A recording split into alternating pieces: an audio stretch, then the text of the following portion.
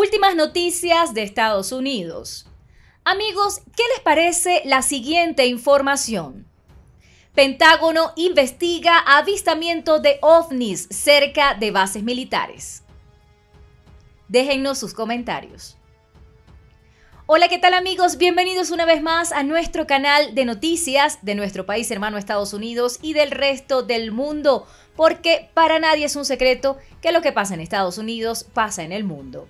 Vamos sin más preámbulos con los detalles de esta información que está llamando la atención de muchísima gente, no solo en Estados Unidos, sino en el resto del planeta, porque hay especulaciones sobre el trasfondo de lo que pueda haber tras este anuncio que ha realizado recientemente el Pentágono de los Estados Unidos.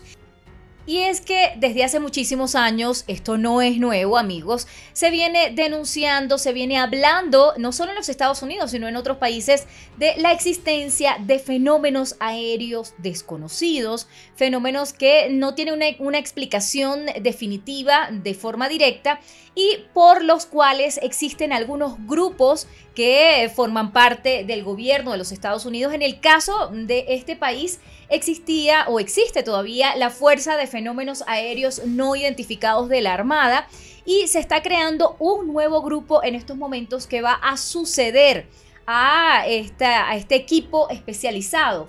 Y el, anuncio que se hizo recientemente por parte del Pentágono informó de un nuevo grupo para investigar los informes sobre la presencia de fenómenos aéreos no identificados o de objetos voladores no identificados, como se les conoce a los ovni, en el espacio restringido de los Estados Unidos.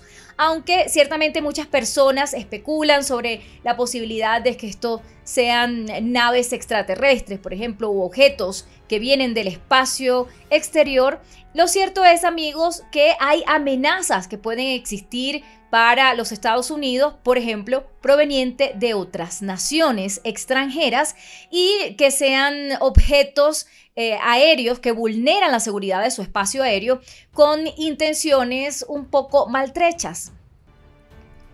Y algo fundamental antes de cerrar la nota eh, tiene que ver con los llamados que están haciendo algunas autoridades de Estados Unidos, como el senador republicano Marco Rubio, de no desestimar este tipo de investigaciones, porque algunos mm, consideran que es algo risible, algo de poco valor o de poca importancia. Pero Marco Rubio ha señalado que tal vez no se trate de extraterrestres, como muchos piensan, sino de tecnología desarrollada por Rusia o por China. ¿Ustedes qué opinan amigos? Dejen sus comentarios. Muchísimas gracias por acompañarnos y hasta una próxima oportunidad.